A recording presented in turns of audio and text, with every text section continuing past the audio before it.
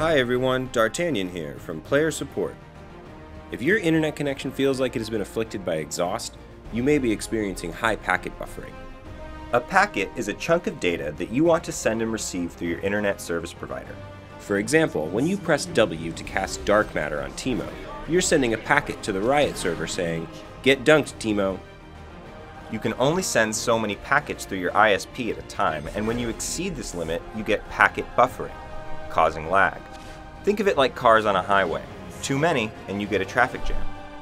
To help eliminate packet buffering, close any unnecessary programs that may be hogging your internet connection while playing League of Legends. For example, video and music streaming services, as well as peer-to-peer transfer programs. Programs that have automatic updates, including antivirus, iTunes, and Steam, could be downloading in the background without notifying you, so it's important to double check them.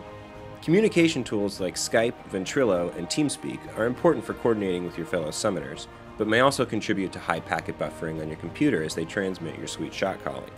There are also a couple changes you can make to League of Legends to help reduce this issue.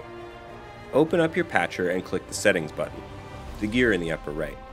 Disable peer-to-peer -peer transfers. Since patch 4.18, League of Legends no longer uses Pando Media Booster, a program previously used to help players download updates. If you still have this program installed on your computer, please make sure to remove it immediately.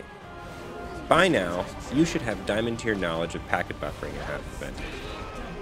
If you continue to experience problems, check out the other videos regarding connection troubleshooting and head to support.riotgames.com.